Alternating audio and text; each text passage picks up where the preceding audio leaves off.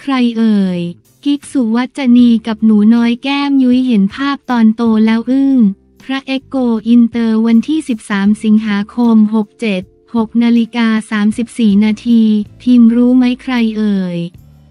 กิ๊กสุวัจนีกับหนูน้อยแก้มยุ้ยเห็นภาพตอนโตแล้วอึ้ง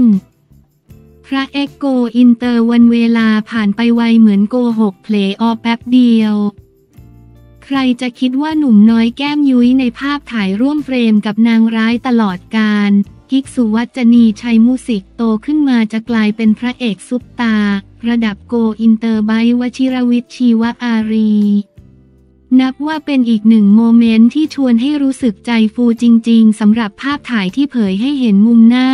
รักๆของคนบันเทิงต่างรุ่น แต่เคยมีโอกาสเจอกันโดยบังเอิญมาก่อน โดยกิกสุวัจนีที่เป็นคนนำเอาภาพถ่ายใบนี้มาแชร์ ได้พูดถึงพระเอกหนุ่มรุ่นน้องว่ามัมกิ๊กผู้กำหัวใจน้องใบก่อนใครหลักฐานคามือ นานกี่ปีแล้วเนี่ยแอดบีไบรท์ทีวีซีขอบคุณรูปจากเจบี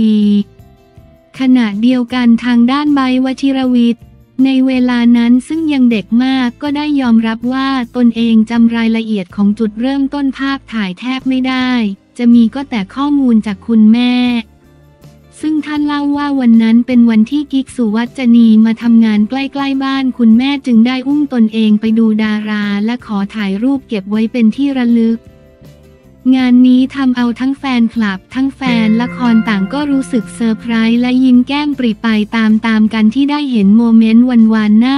รักๆของสองซุปตาที่ชื่นชอบ